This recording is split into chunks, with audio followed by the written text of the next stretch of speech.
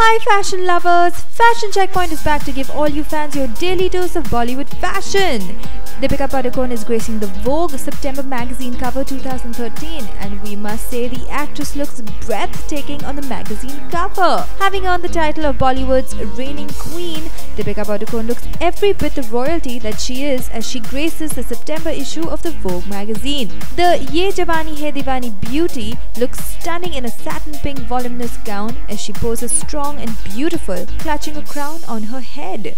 The neckpiece and her hair only accentuate the sensual appeal. We love Dippy's princess look. What about you? Like this video, write in your comments and don't forget to subscribe to Fashion Checkpoint for more daily fashion updates. Till then, keep it stylish.